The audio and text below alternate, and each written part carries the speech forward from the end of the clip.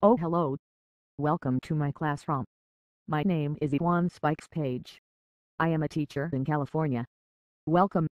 Let's get started. I am going to teach you some pretty cool things in this class. Today I have my friend Rachel here to help me with this introduction. Well the first thing we need to do Rachel is show them how to set the stage in the movie. Okay Rachel, now it's your turn to talk. Hi my name is Rachel I am a character in the movie like you. I can't talk and even move. I am a real character, and fine like you too. Okay, thank you Rachel.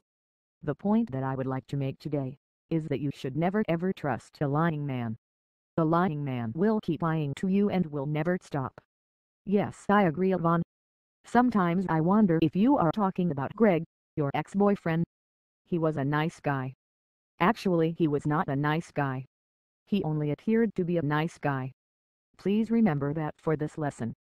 Okay, I got it. How about his friend Al? Is Al a nice guy? Yes Al is a nice guy.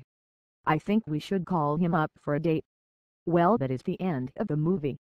This tool can be used to show educators and children how to animate and make animated movies such as this. See you later Yvonne. Well, that is the end of this movie.